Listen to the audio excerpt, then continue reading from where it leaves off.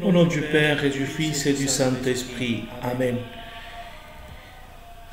Il y a quelque temps, on faisait, on avait fait une petite vidéo expliquant quelques aspects de la, de la participation à la Sainte Messe, comment participer mieux à la Sainte Messe. On avait, on avait dit les dispositions pour participer à la Sainte Messe étaient notre participation être pleine, doit être pleine, consciente, active et féconde, c'est-à-dire qui porte euh, du fruit.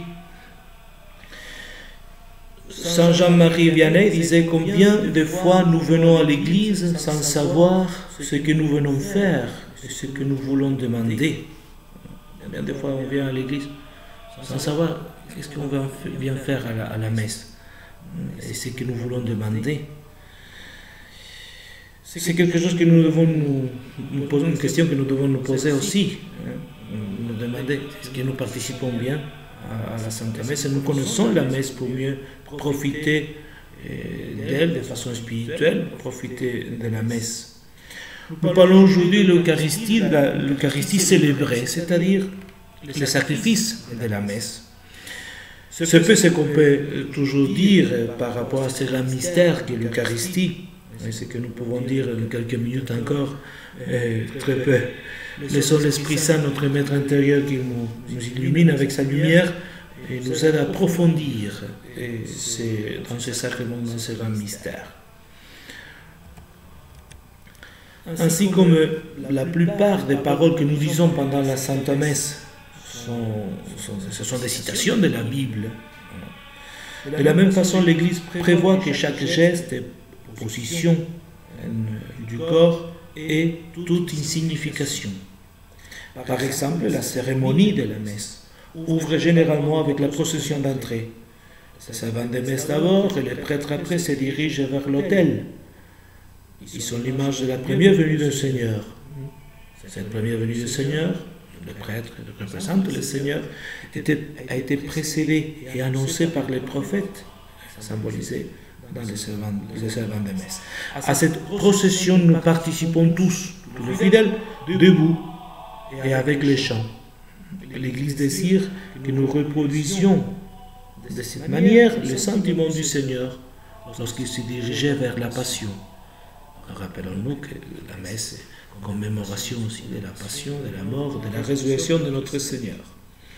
Il y a cinq actions que fait le prêtre en arrivant devant l'autel. Il se met à genoux en adoration au Saint-Sacrement, qui est présent dans le tabernacle, si le sacrement, si le tabernacle est au milieu de l'église, au centre de l'église plutôt, et il fait une profonde révérence à l'autel, le lieu de sacrifice, l'image du Christ. Après, il monte, généralement l'autel est placé plus haut que, le reste de l'église pour montrer que c'est un lieu encore plus sacré. Il embrasse par la suite l'autel, c'est la célébration qu'indique l'amour pour son Dieu, à laquelle nous devons nous unir spirituellement. Et finalement, surtout les dimanches, les dimanches, la grande solennité, il va encenser l'autel. Dans la Bible, l'encens représente toujours eh, les mystères de la divinité, Rappelons-nous ce nuage qui, couvrait hein, la présence de Dieu pour le peuple d'Israël au désert. Mais il représente l'encens aussi nos prières et nos sacrifices, unis à celui du Seigneur, comme la fumée, euh, il monte depuis cet autel jusqu'à la présence de Dieu. Après la salutation, la salutation mutuelle, le Seigneur soit avec vous, il y a l'acte pénitentiel, ou bien la préparation pénitentielle. Cet acte pénitentiel, hein, je confesse, ce n'est pas évidemment le de la confession. Et pour cela, il ne pardonne pas les péchés mortels commis. Pour pardonner les péchés mortels, il y a le sacrement de la confession. Par contre, cet acte pénitentiel nous aide à commencer la messe demandant pardon pour nos fautes, nos manques d'amour, le péché véniel, on peut dire. Ensuite, nous chantons le Kyrie, le Kyrie, c'est ce qui montre aussi l'universalité de l'Église dans la langue grecque. Seigneur, prends pitié, Christ, prends pitié, Seigneur, prends pitié. et dans les messes, les fêtes, les solennités, les messes des dimanches, sauf au temps de Pâques et au temps de, de l'Avent, et nous chantons l'hymne, le Gloria, hein, la gloire de Dieu, gloire à Dieu au plus des cieux. Tous les rites d'entrée finissent avec la prière collecte ou bien la prière d'ouverture. Collecte vient du latin collectare, c'est-à-dire recueillir, ramasser, cueillir. C'est-à-dire c'est la prière qui réunit toutes les prières et les intentions de la messe. Il les unit à la principale, celle qui va dire le prêtre. Et pour cela, il dit, prions le Seigneur. Il est en ses mains, il les unit, un signe de ramasser. Hmm. Avant de prononcer hein, la, la grande prière, ou bien la prière collecte, comme on vient de dire. Il y a deux grands moments euh, à la messe la liturgie de la parole et la liturgie de l'Eucharistie. Dans le premier moment, l'Église nous instruit à travers sa parole, la parole de Dieu. Dans le deuxième moment, elle nous sanctifie pleinement avec le corps et le sang du Christ. Nous parlons maintenant de la première partie de la messe, la liturgie de la parole.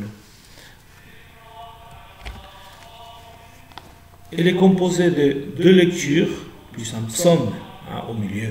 Hein. la première lecture, généralement prise de l'Ancien Testament, mais par exemple au temps de Pascal, on, prend aussi eh, la première lecture du, Nouveau Testament. La deuxième, généralement, c'est toujours c'est le Nouveau Testament, c'est les lettres de, de Saint Paul, les lettres catholiques de Saint Pierre, de Saint Jacques, l'Apocalypse les psaumes, je dis, et après il y a la proclamation de l'évangile pour fortifier notre foi en Dieu. Hein. Toutes ces lectures nous rappellent donc l'amour de Dieu, l'amour pour nous au long de toute l'histoire sainte. Le Christ est là présent dans sa parole, car c'est lui qui parle, tandis qu'on lit, on on lit pardon, dans l'Église les saintes écritures. Christ ne parle, lorsqu'on lit les Écritures dans l'Église. Dit le Concile Vatican II. Saint Jérôme, vous connaissez cette phrase, ignorer les Écritures, c'est ignorer le Christ. Quelqu'un disait qu'il faut lire et écouter la parole de Dieu avec les mêmes dispositions avec, lesquelles, avec lesquelles nous nous approchons pour recevoir la communion.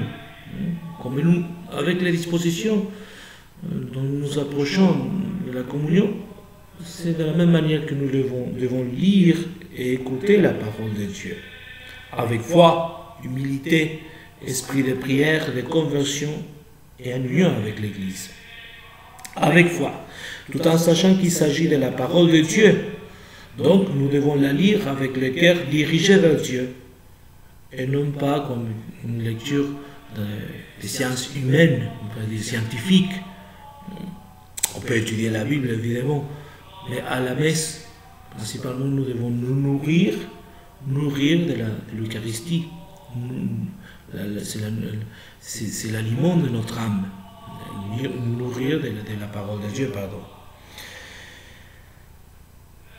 Nous devons la lire avec euh, esprit d'humilité, sans esprit de, contradictions ou bien de, discussions, de, me demander pourquoi, sans, mauvais esprit, pourquoi la parole de Dieu, c'est là de soupçonner. Hein.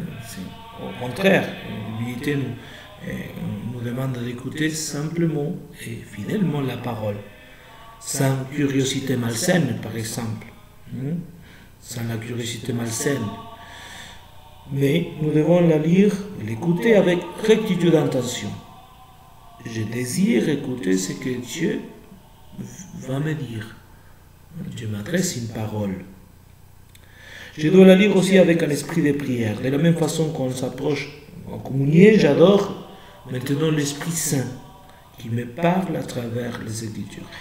Et cela implique bien sûr un esprit de conversion aussi.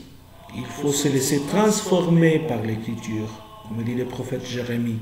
Ma parole n'est-elle pas comme un feu, dit le Seigneur, comme un marteau qui brise le roc et finalement, la parole de Dieu, il faut l'écouter, la proclamer et la prêcher. Aussi, avec et dans l'Église. Cela veut dire dans le même esprit dont l'Église interprète la Bible. Saint Pierre écrit à tous les chrétiens dans sa douzième lettre, pour aucune prophétie de l'Écriture, il ne peut y avoir d'interprétation individuelle. Nous ne pouvons pas, nous ne pouvons pas interpréter de façon individuelle euh, une propre interprétation de la Bible sans être d'accord avec l'interprétation de l'Église, la tradition et le magistère de l'Église. Donc la première grande partie de la messe finit avec les credos, soit les symboles des apôtres, ou bien les credos nicéno-constantinopolitains, et conclut avec la prière des fidèles, la prière proposée, on peut dire, par les fidèles. On prie généralement dans cette prière pour l'Église tout entière, pour le, pape, les évêques, les prêtres. On prie pour les gouvernants, on prie pour les gens qui souffrent, hein, et on prie pour nous-mêmes, hein, pour nos besoins. Nous allons finir avec une, très belle pensée. Hein, euh, c'est plutôt une grande vérité. La, la Sainte Messe est celle qui a formé la conscience et le cœur de tous les saints de l'Église.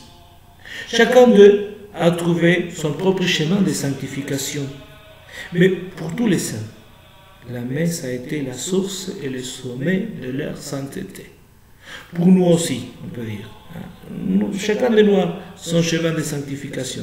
De manière ou autre, le Seigneur nous montre quel chemin, vers quelle, direction il veut nous sanctifier. Hein. Telle mission, tel apostolat. Mais pour chacun de nous aussi, la messe doit être la source et le sommet de notre sainteté. Au nom du Père et du Fils et du Saint-Esprit. Amen. Que la Vierge Marie nous aide à mieux participer toujours de la Sainte Messe.